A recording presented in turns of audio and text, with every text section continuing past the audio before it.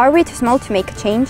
Surely no, as climate change is here and we are the ones who will probably face the worst effects. That's why, whether through science and technology, education and law, we will voice our concerns and urge changes, even the slightest ones, and call for actions in our society. Problems are many and loom large, and we are determined to contribute our efforts, time, and knowledge to these issues. Let's act jointly. We're sure that the messages sent to the world leaders will bring our plans to fruition. That is to make a greener, better, happier planet for all its residents. Our planet is the one and only which needs nurturing and saving. And as the famous saying states, united we stand, divided we fall. The soil right under our feet is very important to shape our planet's destiny, and that's why we have to start from fixing it.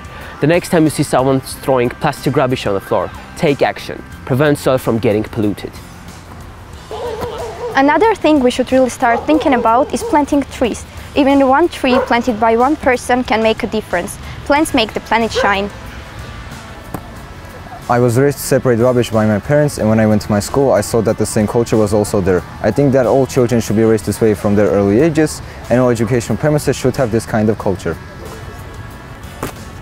The main cause of climate change is the huge amount of greenhouse gases such as methane and carbon dioxide.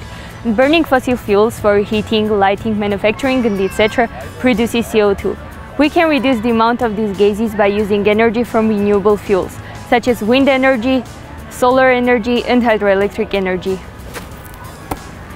We should consider using recycled resources like plastic. Not only it would be beneficial for the environment, it can also be a good source of income for many people, as nowadays it is possible to produce textile out of plastic.